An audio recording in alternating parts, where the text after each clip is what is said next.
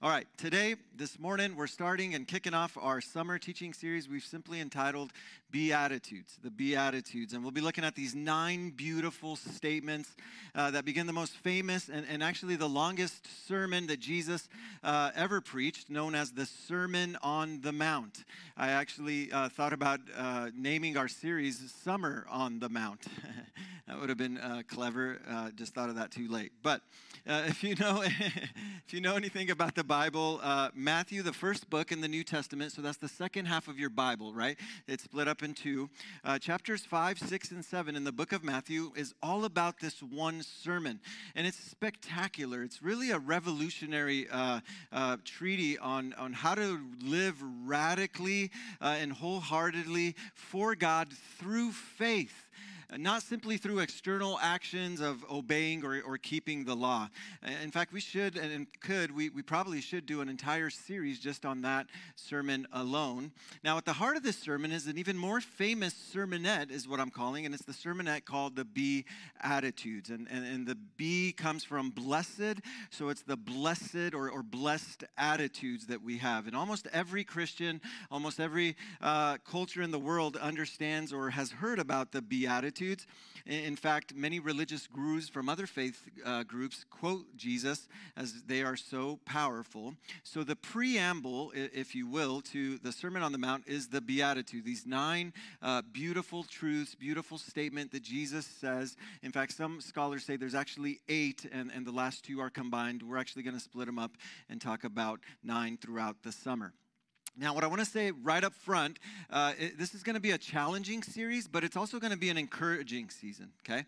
Uh, this will both challenge us, as some of these principles are in direct conflict and contrast to culture's values. You'll see what I mean as we kind of uh, progress through this series. And at the same time, they're super, super relevant for all of us. So Jesus starts off and he says, Blessed are those who, and then he fills in the blank, and that reality really transcends time, right? Right? Like, who doesn't want to be blessed? Right? In fact, that word blessed there is translated from the Greek word makarios, which means happy. So Jesus is speaking, and he's saying that, that to the he's speaking to the universal language of every person that has ever lived on planet Earth. And he's answering the question that's just as relevant today than it, as it was 2,000 years ago. It's just as relevant today to, uh, you know, the, the executive in the corner office in New York City, and it's just as relevant to the person that just stumbled upon that hillside that day to hear Jesus Jesus speak. And Jesus says, Hey, do you want to be happy? Do you want to be blessed? Well, well, yeah, who, who doesn't want that? So here is how blessed are those who. In fact, I love that about our God. Uh, culture would have you believe that God is, is some cosmic killjoy right? He doesn't want you to be happy. He, he wants to rain on your parade, and he actually wants to take something for you or, or, or make you follow all these rules and do all this stuff. Do you know how many thou shalt nots are in that Bible? Right? right? And, and sadly, sometimes even within Christ, Christian circles and Christians, we kind of put this on people too. Have you ever heard the statement, uh, God doesn't want you to be happy, He wants you to be holy? Right? As, as if th- those two things are, there's a big dichotomy between being happy and, and being holy. And maybe God's favorite song or Jesus' favorite song is, you know, if you're happy and you know it, repent. Like, don't be happy, right? and so what we say is, okay, I want to be happy, and, and church people are not the happy people, so, so I'm not going to do the church thing. I'm, I'm not doing this Christianity thing. Uh, but that, that is a false dichotomy because, surprise, you can be a follower of Jesus and be happy.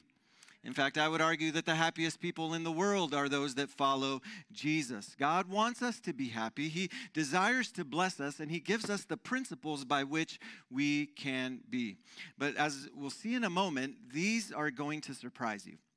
In fact, the kingdom of God has been called by many the upside down kingdom because it's flying in direct contrast in, uh, to the patterns of this world. So, as we go through this, it's going to kind of get into our face a little bit and challenge us. Probably for some of us, uh, our, our, our, our, reaction would be very similar to what uh, Arnold Drummond gave his older brother Willis. This look, that's probably going to be some of us, right? what you talking about, Willis? Yeah, Jesus really did say that, and he was serious. And what I've been praying for is that we would be really deeply impacted powerfully by the words of our Lord Jesus Christ. All right, so let me set up the context of what's happening here. Uh, I want you guys to understand where we're at. So we're going to begin in chapter 4, actually, and set the scene. Jesus is about to usher in the Sermon on the Mount. And here's what it says in Matthew chapter 4, beginning in verse 23. It says this Jesus went throughout Galilee teaching in the synagogues. So if you want to know what he was teaching, he was teaching the Sermon on the Mount. You could read that in chapters 5, 6, and 7. He was proclaiming the good news of the kingdom and healing every disease and sickness among the people. And if you want to know what kind of healings he was doing, you can just go ahead and read the, the, the, the last two chapters there, 8 and 9, after the Sermon on the Mount. News about him spread all over Syria, and people brought to him all who were ill with various diseases, those suffering with severe pain, the demon possessed, those having seizures, and the paralyzed, and he healed them. That's the power of the gospel, everybody. It's always accompanied by signs and wonders. It's always uh, verified by signs and wonders. Let me say it this way when the gospel is preached, powerful things happen. And then it says large crowds. Some actually estimate anywhere from 10,000 to 20,000 people at a time were following him from Galilee, the Decapolis, Jerusalem, Judea, and the region across the Jordan followed him. So, this is kind of the context. This is what's going on. Jesus is ministering, and the good news is spreading. And so, the crowds are forming, and they're getting larger and larger and larger. And now they include people from all different types of regions. And, throughout the book of Matthew, the Gospel of Matthew, whenever he's speaking about Jesus and, and his crowds, he talks about large crowds a lot. And he's speaking about a, a variety of people that would be there. Most of the people that were following Jesus had a healthy appreciation uh, of Jesus, but there was also those in the crowd that were kind of seeking out who is this Jesus? I'm not really sure uh, about this, and how does these teachings relate to my life? And then there were people there who were actually skeptical about Jesus. And, and at some point, uh, there were even enemies uh, uh, of Jesus that were there in the crowd. So there's a variety of people in these crowds. By the way, I love that. I love that because uh, it's not very dissimilar to us as we gather here today. See, we're a crowd of people, right? Now, we're not on a mountainside, we're on a mill side. Ah, all right, all right. hey, listen, if you're new with us today, hang in there. The dad jokes don't get any better, okay? Just, just saying. but we're a crowd of people, and, and our spiritual makeup is people of different ages and different stages in life. And I would say most of us are, are followers of Jesus, appreciative of Jesus. Some are very uh, committed followers of Jesus. Yet there are some of us in this room that are still seeking they're like, man, I'm still trying to wrestle with what Jesus is saying, who Jesus is, what these tenets of faith mean for my life. And then there's probably some of us who are skeptical. I'm not really sure. I, I, I'm, I, I don't know about this. And that's okay. We welcome all of you here because Jesus has a word for all of us today. So Jesus gives this message specifically to his disciples, but he wanted the entirety of the crowds to hear it. In fact, we could say that the crowds gathering is the reason that Jesus actually gives this message. So here's what how it starts. He begins, now when Jesus saw the crowds, he went up on a mountainside. So what he's doing is he's using the acoustics of the Sea of Galilee and the backstop of the mountain to amplify and project his voice. If you ever wondered how Jesus taught to so many people, that's what he kind kind does. And so he sat down, his disciples came to him, and he began to teach them. Some translator, translators actually translate the Greek here uh, word for word, and they said, uh, where it says, Jesus opened his mouth and began to speak. And it, by way of information, that's like totally redundant, right? Of course, you open your mouth to speak.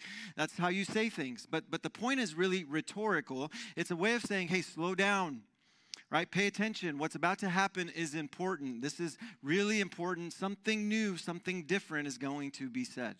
So here's how Jesus starts He says, Blessed are the, and, I want to pause here just for effect for one second, okay? So imagine the crowd of people following Jesus, right? People from all ages, people from all faith groups, people from all different backgrounds and social groups. They're leaning in because they can't wait to see what is Jesus going to say? Who are those that are going to be blessed? Who are the ones that are going to be blessed? So they all lean in and turn their ears to Jesus. Now, what some of them were expecting Jesus to say is this the blessed are going to be the religious right? Those that follow all the rules those that got it all together. I mean the, the in, the old testament that was the prerequisite for blessing. It was a if then kind of mentality. If you follow what jesus what, what god says then you will receive this blessing. It was always if then certainly it's those people if it's not those people, then maybe it's the politically affluent, those that have a name, those that are important in society. Those are the ones that are truly blessed. If it's not those people, then maybe it's those that come from like a, a real important spiritual lineage, right? Like you're from Father Abraham, had many sons. Maybe that's you, right? Yeah, I, I see you. You know that growing up, right? maybe that's your lineage. Or maybe God, eh, eh, through Jesus, is going to do something new and he's going to usher in this military military might, and He's going to uh, make us mighty and blessed so we could fight against the opposition of the Roman Empire. Or maybe, like some of you today here, you're thinking Jesus is going to say, Blessed are those who work hard. Blessed are those who help themselves. You ever heard of that one? Blessed are those who fulfill their dreams, who, who make something of themselves. Blessed are those who make a name for themselves. Blessed are those of great wealth. So they're leaning in with bated breath as they're saying, okay, who's going to be blessed and who are the blessed? And Jesus does on the outset in his sermon something that, that, they, that, uh, that, that takes everything you've experienced and they've experienced in life and they, everything that they've expected to happen and turns it upside down he flips it upside down because the Beatitudes of the kingdom are in complete opposition to the patterns of this world. So let me show you what he says Blessed are the poor in spirit for theirs is the kingdom of God. That's what we're going to study today. Blessed are those who mourn, for they will be comforted. That will be next week. So you're kind of picking up how we're going to unfold this series. Blessed are the meek, for they will inherit the earth. Blessed are those who hunger and thirst, not for food, but for righteousness, for they will be filled. Blessed are the merciful, for they will show mercy. I think we have more judgment in the world today than we've ever had at any point in time, and we need some people that are merciful. Come on, somebody. Blessed are the pure in heart, for they will see God. Blessed are the peacemakers, for they will be called children of God. We need some peacemakers too, by the way. And then a lot of scholars combine these last two. We're actually going to uh, separate them. It says, Blessed are those who are persecuted because of righteousness, for theirs is the kingdom of heaven. Verse 12, blessed are, the, blessed are you when people insult you, persecute you, and falsely say all kinds of evils against you because of me. And then it says, rejoice and be glad because great is your reward in heaven. For in the same way they persecuted the prophets who were before you. Now, what's amazing about these principles is that Jesus didn't come just to teach these to us, he actually came to live these out. So, so he embodies kindness, uh, goodness, gentleness, and, and, love. And, and this is why I believe uh, even atheists, even other religious gurus, are, are uh, don't, they don't necessarily believe in Jesus as the Messiah, but they still think he was a great man because he actually lived out what he preached. But he didn't just come to model this for us so that we could adore him for that. He came and modeled and taught so that we could take on his life.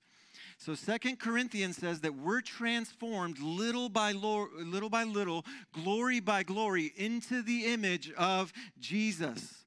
And I've asked God that he would do a revival work in our hearts in this series as we allow these beatitudes to come live on the inside of us and in turn change everything around us. Now, there's a few things uh, I want you to notice before we kind of jump in and study this first one. There are three parts to every one of these principles, right? Uh, they each have an adjective. In fact, they all have the same adjective. It's blessed. Uh, the second part is that there is an identifier of who the blessed are, and those who are blessed, uh, Jesus identifies them, and, and they're in complete uh, uh, surprise to those listening. And then the third part is the assuring condition because they were blessed. So, what what is the blessed assurance, right? And, and you're going to hear things like, well, blessed are those, uh, uh, they will be the children of God. They will inherit the earth. They, they will be filled. And, and today we're going to look at theirs is the kingdom of heaven. Now, the other thing that is really uh, crucial that you understand in these Beatitudes is that this the Beatitudes reveal where true happiness comes from. True happiness. So, that word blessed, we've already mentioned, means happy. And this happiness literally means that there's an internal joy that the world cannot give you. So let me say it this way You are content, you are flourishing, you're not wavering, completely indifferent in spite of your circumstances, in spite of what is happening around you. And that's really the word that Jesus is using here. So it's not happy uh, based on happenings or happenstance. So, for instance, if the sun is shining like today, woo, we're happy, right? When it doesn't shine like today, we're not as happy. When, whenever you have money, you're happy, but when you don't have money, you're not. Whenever your team wins, wins, you're happy. Whenever your team loses, you're not happy. That's pretty much every Blazer fan in, in right now, right? Help us, Lord Jesus. So, so, so that's normal people, right? Uh, happiness comes and goes with circumstances, but not the people of God, everybody. The people of God are supposed to have something deeper inside of them that, that regardless of what their circumstances are, we have this internal joy of the Lord. It's an internal satisfaction and sufficiency that goes beyond our outward circumstances uh, for happiness. Another thing I want you to notice is that these principles are called the be attitudes, not the do attitudes. So Jesus teaches the kingdom of heaven. That's kind of his big uh, thrust throughout this uh, sermon, and he's going to show the people uh, what God intends for them to do in their in, in their lives as they follow him. And it starts with reshaping our attitudes. These are the attitudes that God wants to develop in the hearts of his believers. So these are descriptions of what God causes us to be rather than a description of what God wants us to do. It's critical that we understand this and, and uh, uh, that, that we get this. God places a premium on being because what we do flows out of what we are. So I say this a lot, and you've probably heard me say this a lot in, in previous messages. It's identity that drives behavior. When you know who you are, you're going to know what to do. See, the world will tell you that happiness begins on what you do, while God says true happiness begins with who you are. It's who you are that drives how you will live. And that's why this, these are called attitudes. We're going to get these attitudes inside our heart so we can live them out. All right, so let's jump into the first one and unpack this one. Blessed are the poor very interesting language. Poor in spirit, for theirs is the kingdom of uh, heaven. Now, that word spirit there, it actually uh, comes from the Greek word pneuma, which means soul. That's what he's talking about, the soul. So, very important to notice uh, it does not say, blessed in spirit are the poor. Okay, so right off the bat, Jesus addresses one of the biggest myths as it relates to happiness, and that is essentially that only rich people are happy. Or, or some have said, no, no, no, it's only the poor who are actually happy people. And Jesus says, no, it's not rich people who are happy. It's not poor people who are happy necessarily. Let me, let, let me tell you who's happy. The happy people are the people who are poor in spirit.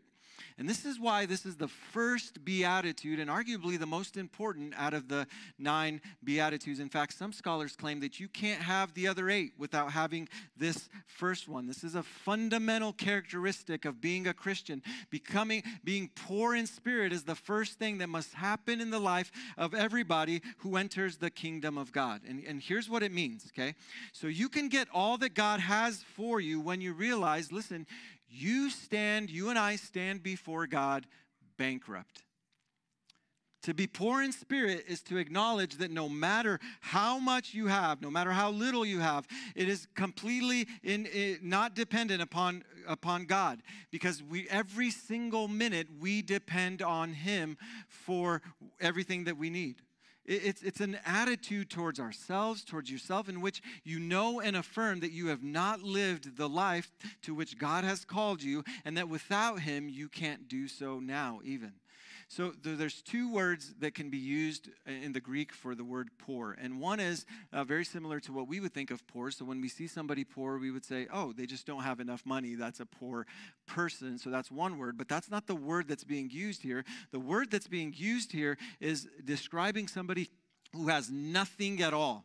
So, so you're completely destitute right? It describes a beggar, desperately even ashamed to show his face or, or identity, make it known. Uh, it's someone who's totally dependent on somebody else. And that's the word the Bible uses. So, so blessed. Happy, the happiest people are the ones who realize that they are completely destitute before God, that they are dependent on their heavenly Father, whether they have a little or whether they have a lot fact, uh, let me show you uh, three other translations of this verse because it kind of tries to hit the same kind of theme. This is out of the New Living Translation. This is a translation that I uh, personally enjoy reading a lot. It says this God blesses those who are poor and realize, watch this, their need for Him. For the kingdom of heaven is theirs. Here's God's Words translation. It says, Blessed are those who recognize they are spiritually helpless I actually like that phrase spiritually helpless. The kingdom of heaven belongs to them. And then finally, out of the New Century Version, it says this those people who know they, their great spiritual needs are happy because the kingdom of heaven belongs to them. So, so here's the big idea if you're a note taker and you're kind of wanting to surmise it all. I'm going to try to simplify this as best as I can. The happiest people in the world, here's the big main idea for today, are the people that say this Jesus, I need you. God, I, I just need you. I realize I bring nothing to the table. That's the mark of a person who is walking with God.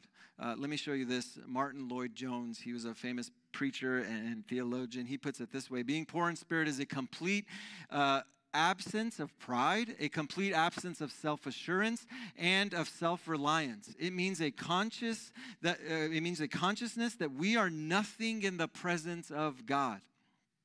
Now, again, this is why I say the Beatitudes uh, of the kingdom of God are in direct and complete opposition to the attitudes of the world.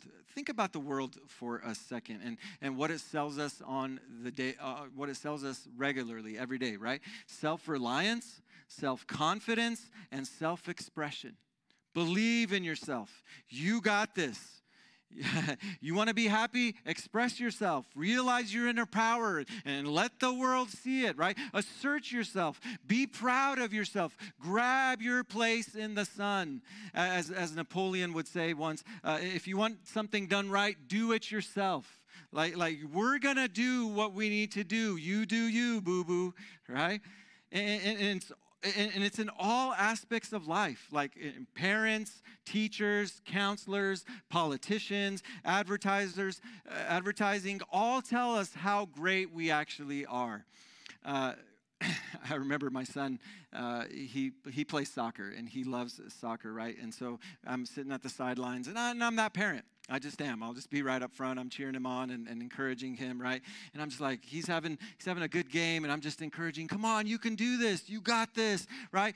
Believe in yourself, Levi, right? And he makes a play on the ball and he actually it leads to a goal. And so what he does is he starts, starts beating his chest, yeah, yeah, and he starts trash talking to the other kid, right? And I'm like, whoa, wait a minute. No, that's, that's not what I meant. Like, what just happened? And everybody's like, yeah, that's the pastor's kid. Humility, humility, yeah, right?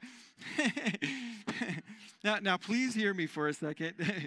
Being poor in spirit doesn't mean like you have to be weak all right? It doesn't mean like standing in the background or, or, or, or uh, lacking courage or not trying hard, not using the gifts and talents that God has given you. It's not this kind of false sense of humility. It simply means that this is the attitude of your heart God, I can't do this without you.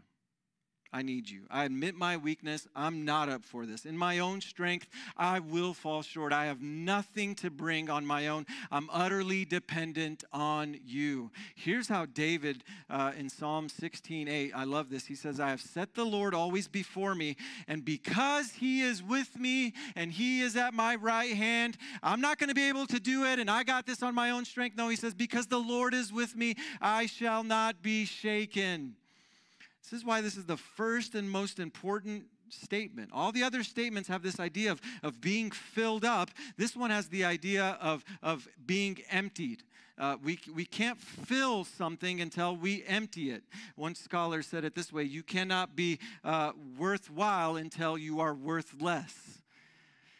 It's kind of like when you want to uh, uh, remodel a home. Before you do any renovation, you have to do demo right? So to be poor in spirit means I admit, God, I can't do this without you. I can't control my tendencies to do the right and wrong thing. And, and, and ultimately, my life is unmanageable. I need you. This is what it means to be poor in spirit. I'm always acknowledging my dependence on God. Let me show you some examples in Scripture, and then I'm going to give you a couple takeaways. Now, these are powerful men of God, but when in the presence of God, when in the very presence of God, they realized their poverty of Spirit.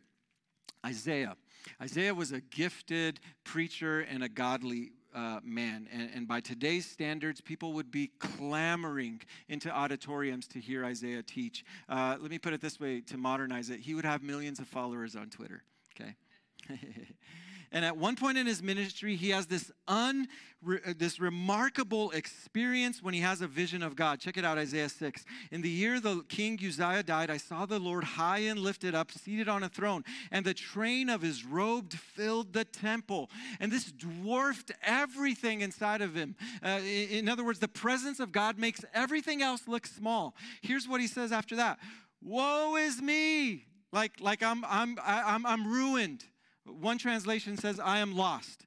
For, for I'm a man of unclean lips, and I'm living amongst the people with unclean lips, but my eyes have yet seen the Lord. Uh, we see this in Daniel, one of the, the brightest and smartest people to ever live. When he saw the Lord, here's what he says So I was left alone, gazing at this great vision. I had no strength left. My face turned deadly pale, and I was helpless. We see the same attitude in Peter, who by nature was a, a, aggressive, uh, self assertive, confident individual. Yet when he encounters the Lord, look at his reaction Go away from me, Lord. I am a sinful man. See, what, what Jesus is saying in this beatitude is uh, where when a man comes to understand that he is spiritually poor, that is the doorway to being blessed. Let me show you one more example. There's a, a parable in the book uh, of Luke, chapter 18, and it's a tax collector and a Pharisee. And they both go up to the temple to pray, right? Well, uh, one we would call him rich in spirit, and the other one we would call him poor in spirit. So the Pharisee, he's rich in spirit, right? So they both go to this temple, and the Pharisee, of course, what do you think he's going to do? He goes right to the front, like he would probably come right up here, and he starts praying loud for everybody to hear him, right? Because that's what Pharisees do. They want to show their righteousness to be, be before people, like, look at me. And he literally prays this God, I thank you that I am not like the other people, you know, the robbers, the evildoers, the adulteress, or even like that schmuck tax collector right there, right? I fast twice a week and I give a tenth of all that I get. Pretty impressive, right? But here's what Jesus said in this parable. But the tax collector stood at a distance. He would not even look up to the heaven, but he beat his chest. Now, this is not beating his chest like my son was doing, right? This meant I have nothing to bring. And he said, God, have mercy on me, a sinner. And Jesus said, I tell you the truth, this man, rather than the other, went home justified or went home blessed uh, before God. This, this destitute, bankrupt, poor in spirit tax collector was blessed. Why? For those who exalt themselves will be humbled, and those who come humbly will be exalted by the Lord. Now, here's the problem for us today. Most people, especially here in America, uh, and especially in affluent places, we don't realize how uh, poor we actually are. We, we don't realize how much we actually have. It's, it's hard for you to realize you have a lot because you're just kind of, uh, you've been in a place where you've always been able to do something about it. Something, uh, you know, you had options. I don't know if you know this, but we are incredibly blessed, everybody incredibly blessed. Like 99.5% of the world would trade places with you on your worst day. They, they really would. So, so here we are, abundantly blessed. And the problem is we never depend on, on something we don't think we, we need. And I'm convinced that the more I dig into this, that it really to be poor in spirit is, is for people who say, man, I can't get this on my own. And, and I'm not trying to insult you, but I, I think most people actually think we, we can. Now, what made this come alive for me was the first time I went on, on a mission trip. If anybody's ever been on a mission trip, you'll know what I'm talking about. And you think you go there to, to be an encouragement to those minis- uh, missionaries and to the people, but you actually get encouraged uh, by going there because you get perspective of what life is really all about, right? And if you've never been on a mission trip, I encourage you to go and go to a place where there is nothing, like absolutely nothing. And, and you'll realize that the vast majority of the earth lives like that. And what you'll notice is when you get there is they're happier than you are. I arrived, uh, you know, when I was 15 years old, and I had my Sony Walkman on. You right? I had my Michael Jordan jersey, and I had my shoes on, and I thought, you know, I was so cool. And oh man! And I looked around, and those kids were so happy, and it made me look miserable. Right? It really did. There's nothing like pulling up with a van full of teenagers, and you just see these kids who have one set of clothes, who probably eat only one time of day, and they're just so happy and they have tears in their eyes because somebody showed up to play ball with them, right? Somebody's there to just to just be with them. They had no worries in the world and they were happy. You know why? Because they're completely destitute, everybody, and all they got is God, and so they lean into the Lord, and those are the ones who are blessed. It's kind of what this is trying to say and, and, and that's why this is so uh, such a difficult principle to teach. How do you teach being poor in spirit to somebody who is everything that, that's us right there, there's a verse in, in, Revelation, I'll show you this, and it's, it's a really convicting verse. Now, the book of Revelation is the ba- last book uh, in, in your Bible, and it's considered a prophetic book. It's the only prophetic book in the New Testament. And the Apostle John, he writes this book uh, along with his Gospel of John, and then 1, 2, and 3 uh, uh, John.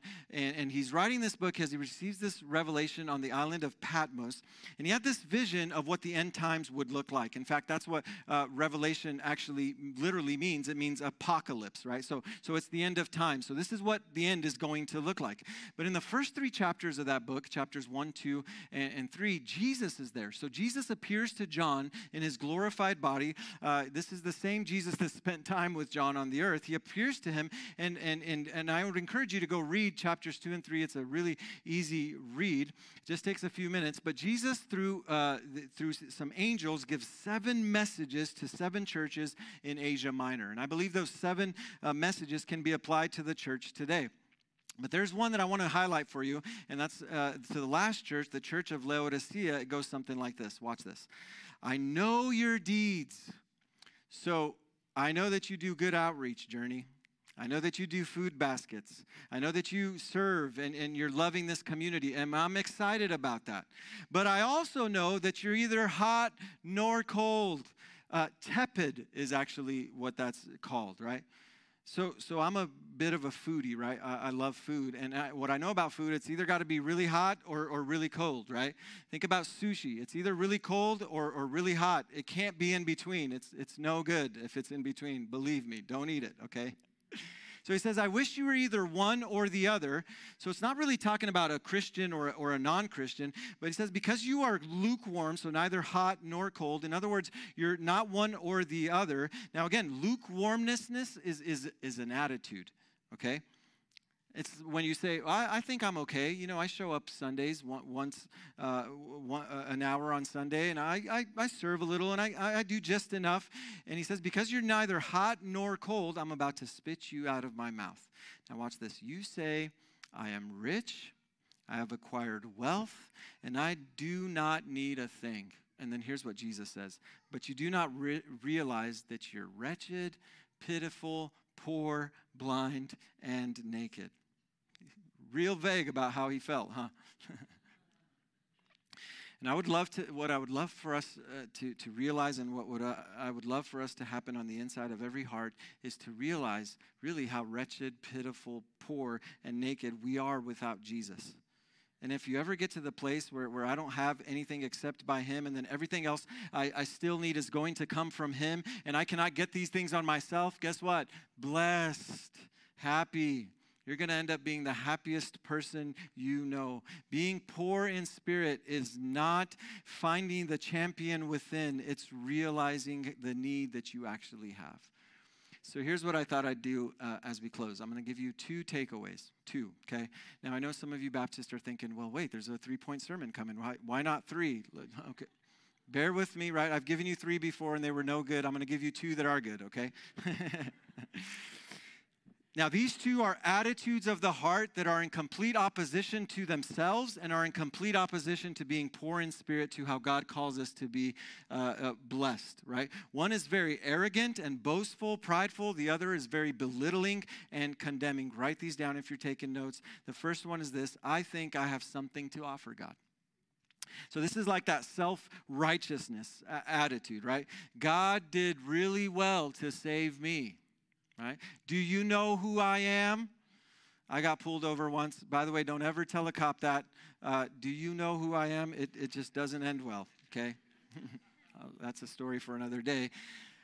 But I've told you my story uh, throughout the years if you've been around. I grew up in church and, uh, you know, actually went to church on Sundays twice. We would go Sunday mornings and then Sunday nights. Uh, there's a reason we don't have Sunday night services here, probably because I still have some PTSD from going so much, right? And, and we went Thursday nights on top of that. And I would read my Bible and I'd memorize verses and I sang the songs and I sang in the choir. By the way, these are not all bad things. Uh, they were foundational in my life, but as an adult, they left me rich in spirit. Okay? Now that sounds like a good thing, right? But Jesus refers to the rich in spirit as the religious, as the Pharisees, as the self righteous, the ones that praise him with their lips, but their hearts are far from him. And that's exactly who I was. And I thought, man, the more I do for God, then surely the kingdom of heaven is for me. And Jesus is saying, no, no, no, the kingdom doesn't work like that. See, I think people think that, that we have some sort of role in, in salvation. If I come to church, if I give, if I serve, if I say I'm sorry, Right? Do you realize that, that you can ask for forgiveness of your sins and they won't be forgiven? Because it's not just the forgiveness of sins that forgives your sins. Your sins are forgiven whenever they are paid for. Not sure if you realize that or not, but God doesn't come along and says, Well, well, thank you for trying so hard. Thank you for trying to be a good person. And, and you know what? You're, you're trying to be spiritual, and you did say you're sorry, so, so I guess I should forgive you, right? That's not how it plays out. The Bible says that we've all sinned and have fallen short of the glory of God. And the wage of that sin, look at Romans 6 uh, 23, is death. That's the only payment that's accepted for the sin. And I'm not trying to be heavy on you, I'm, I'm just trying to help you. You have to realize that someone has to pay for the sin that you and I did. And the payment isn't, I'm sorry, and it's not doing things that are spiritual. No, sin has a bill attached to it, and that bill is death. But the gift of God, come on, somebody, is eternal life in Christ Jesus our Lord. So Jesus came, stepped into your life, and because of Jesus, I have the free gift of salvation, forgiveness, and eternal life. But we have to understand He's done it all, and I bring nothing to the table. And it wasn't until in my mid 20s uh, that I came to the place where I realized, man, spiritually, I can't do anything to earn the kingdom of God. And in that moment, the words of Jesus just washed over my life. And I understood this beatitude blessed happy. Adrian, yours is the kingdom of God.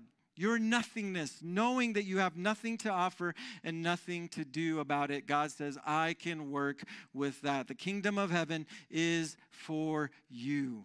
So the poor in spirit have nothing. They notice their need, they know they are nothing. This is the kingdom of heaven, and this is good news for you and I. Here's the second one.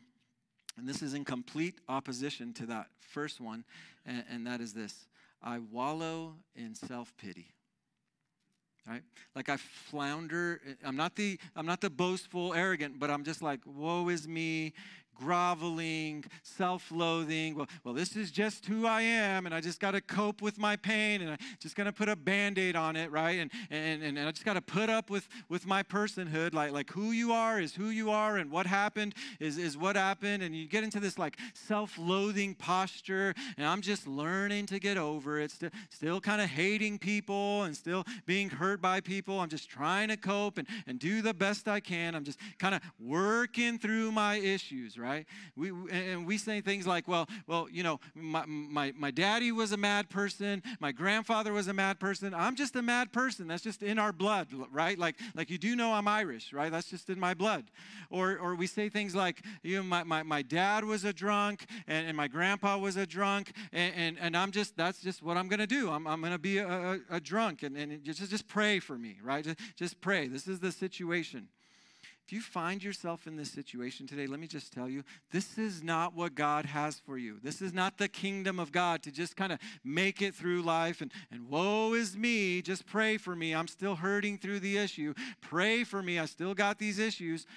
It's not what it's about. Let me, let me tell you who I was uh, without Jesus. I was an insecure, bullied, 13 year old, shy person. I, I, and I, I, didn't really know what to even do with my insecurities other than to, to act out. So, so I didn't clam up. I kind of went crazy. I figured, man, I'm, I'm just going to be, uh, you know, the jester and just throw jokes at everybody and just make everybody laugh. And that's how I'm going to deal with my insecurities. And I, and I was just still insecure, right? Um, in fact, I, uh, I applied in, in my early college career. I went to Mount Hood Community College, everybody.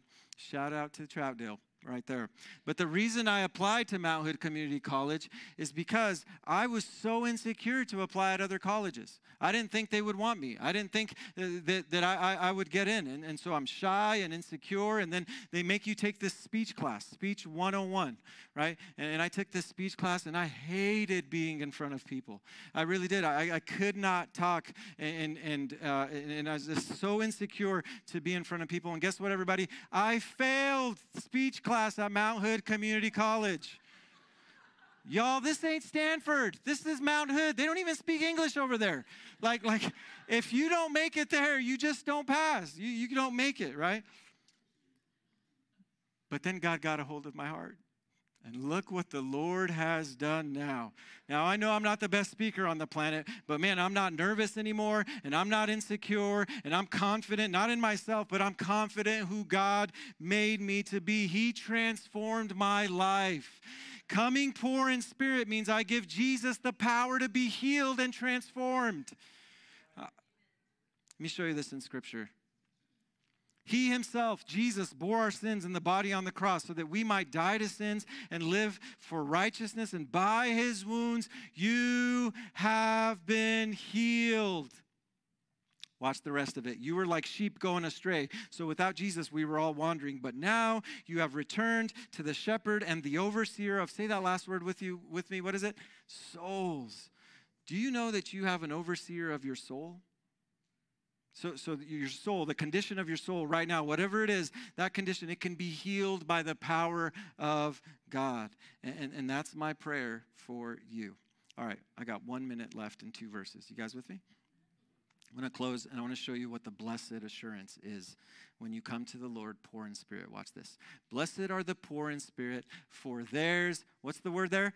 Is the kingdom of God. Is the kingdom of God. So, so when we don't come to Him with, with our prideful attitude and Lord, I bring all this to the table, and when we don't just grovel and woe is me and I just can't make it through life and God's not going to transform me or heal me, when we come poor in spirit, ours is the kingdom of heaven. Now, what's interesting about this is that the kingdom of heaven is promised in the present tense. See, we often think of the kingdom as kind of there and then, something that's far off, something that is una- unattainable, right? And really, this beatitude, if we were going to write it, is like, Blessed are the poor in spirit, for theirs shall be the kingdom of heaven. That's it's going to come once and for all. But Jesus doesn't say that. What makes this even more striking is that all the other blessings promised to us are in the future. Watch this, the, the rest of them. Blessed are those who mourn, for they will be comforted. Blessed are the weak, for they will inherit. Blessed are those who hunger, for they will be fed. Blessed are the merciful, for they will be shown mercy. Blessed are the pure, for they will, for they will, for they will. You kind of get the you, get the idea here. The last one said, "Blessed uh, uh, is is uh, when when when uh, you're persecuted, for theirs is the kingdom of heaven." So so the the beatitudes are kind of bookended by this, like theirs is the kingdom of heaven in real time. What is Jesus saying here? What does it mean for you and I who are struggling, trying to cope with life, trying to get through everything that we got to get through? Listen very carefully. You can enjoy a taste of heaven right now. The poor in spirit and those who come and say, Man, I'm coming empty before you, God. I need you. I have that attitude. They taste the greatest blessing of heaven, and that is the very presence of God with them. That's, that's what heaven is. This is what God declares in Isaiah. Watch this last verse. For this is what the high and exalted one says.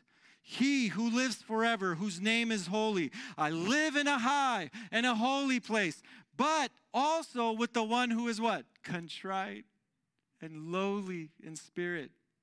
Why do I do that? To revive the spirit of the lowly and to revive the heart of the contrite.